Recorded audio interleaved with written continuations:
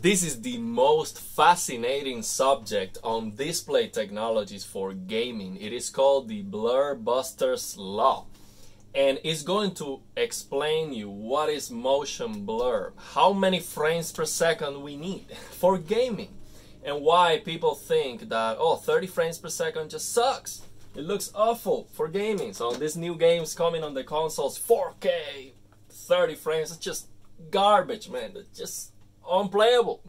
So this is going to explain you also the difference between a sample and hold display like this OLED and a CRT and why the CRT is so amazing, why I, I'm always pra praising the CRT for its motion clarity. And I'm also going to explain you in detail what is black frame insertion doing in this LG OLED with some examples here. So I'm gonna have the link in the description for this article is amazing. It's called the Blur Busters Law.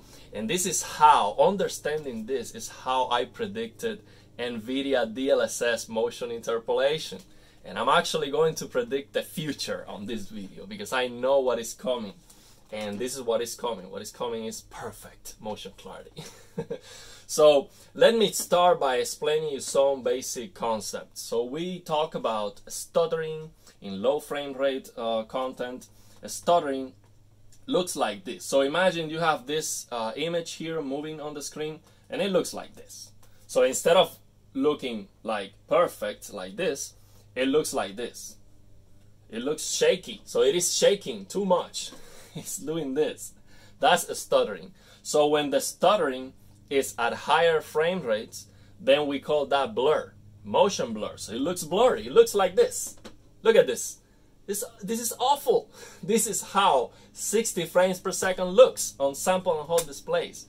So people are wanting 60 frames per second and 60 frames per second looks like this. This is awful, man. This is absolutely horrendous. So my plasma TV at 60 looks like this, okay? A lot better.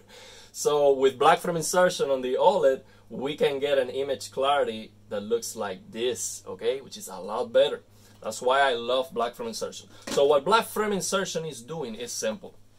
So, well, it's not that simple, but I'm gonna try to break it down for you so you understand it. So imagine that we have a stuttering. So I'm going to use the stuttering, uh, you know, example to, so you get more clarity, okay? But black frame insertion here doesn't work at 24 frames or 30. It works at 60, 100, and 120 hertz on this LGC1.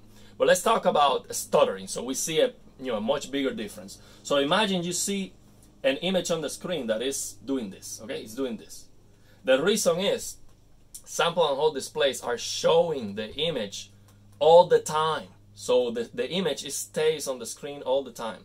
So black frame insertion, what it's going to do for you is that you can imagine you see the image doing this. Okay? Doing this. So that causes a stutter or a blur if it's a higher frame rate. So the black frame insertion, imagine that the image does this, and when it goes back, we're going to we're gonna have a black frame. So instead of you see this, you're going to see only this. so you're gonna see instead of the stutter, you're gonna see this. it's difficult to explain, but this is what black frame insertion is doing. So let's say no black frame insertion, the image looks like this. Okay? Black frame insertion, you're gonna see this. Okay? So when I do this, it's a black screen. Okay? It's black. So we do this, the image, instead of looking like this, is going to do this. So that's why it looks more clear in, mo in motion.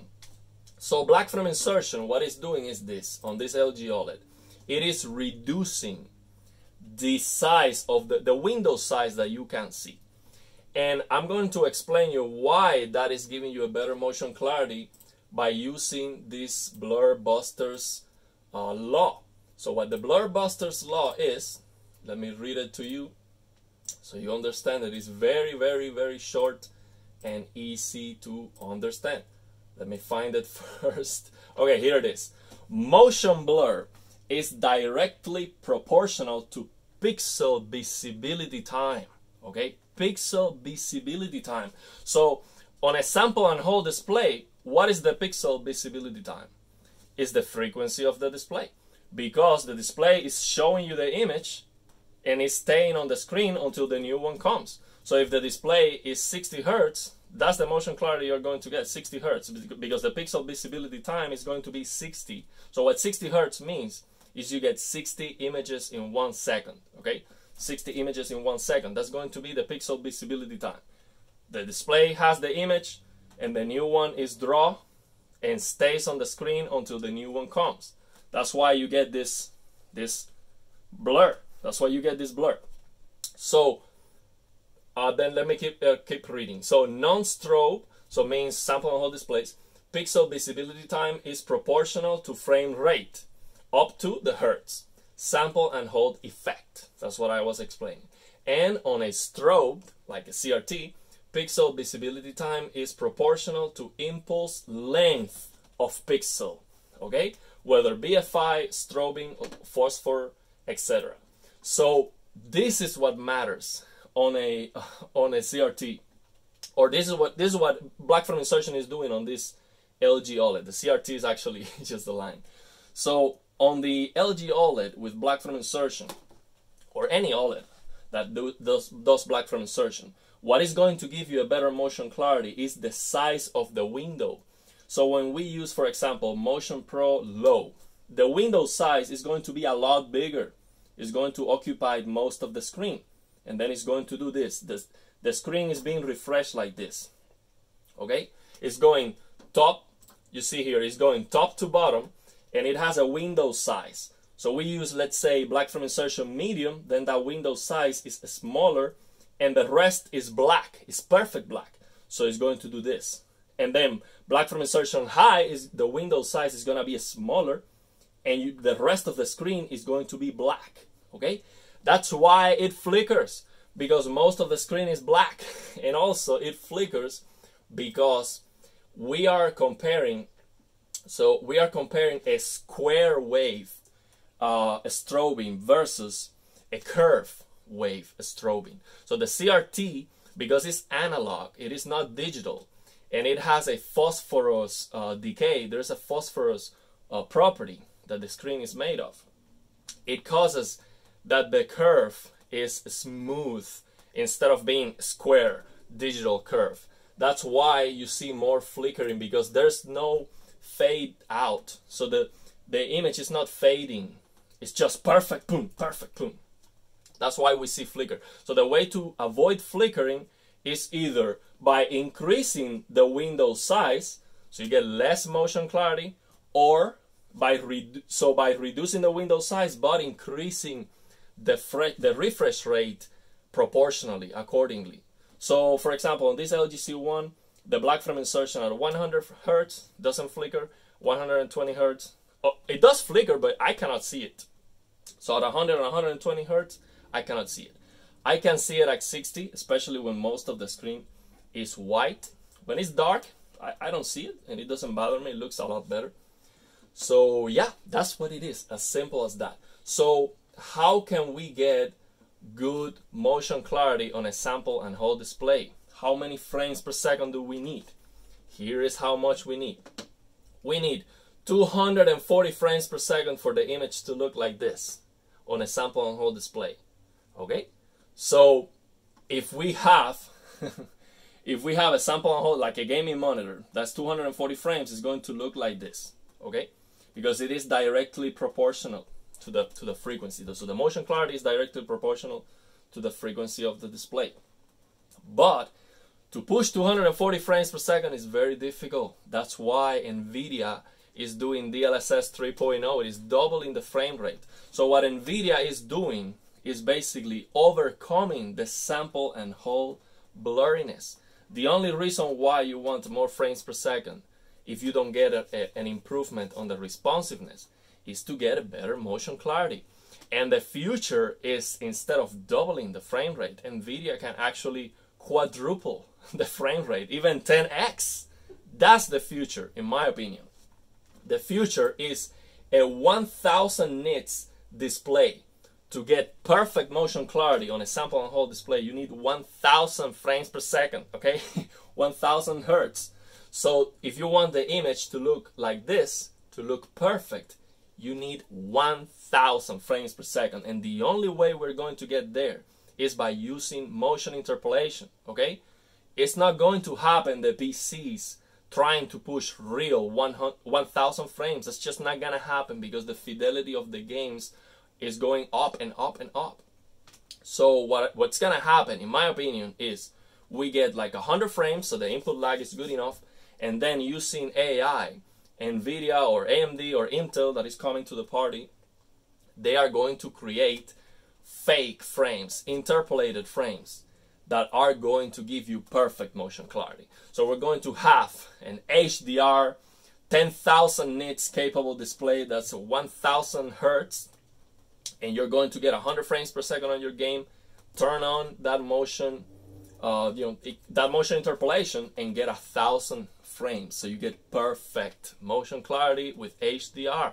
Because the problem with black frame insertion is that you lose brightness. And the reason you lose brightness is because most of the screen is black. Okay, so you have this only this section of the screen drawing, and the rest is black. So you lose uh, the peak brightness. You cut that peak brightness in half. So what we can get right now, we don't have a 1000 hertz display. We have some 240 or 500 hertz display. But what we can get right now with this LG C1 is this exactly. So this is sample and hold displays. This is uh, impulse. So what we can get right now with this LG C1 with black frame insertion is this result between 4 milliseconds and 2 milliseconds of persistence. Okay, Black frame insertion on 120 frames is going to be between these two images, between this one and this one. I would say, based on my experience, is closer to this image than this one, but I might be wrong. I don't know exactly uh, what it is. It is for sure better than 240 hertz. So this 4 milliseconds of persistence is 240 hertz um, sample and hold. In my opinion, it is better. Actually, I heard from Alex from Digital Foundry. He has he just got an LG C1 and he compared black frame insertion on 120 with his 300 hertz laptop screen, and he said black frame insertion on 120 was looking better in motion than my 300 hertz laptop screen, and I guess that's the case because I see the difference between 60 and 120. So yeah, it's going to be between these two.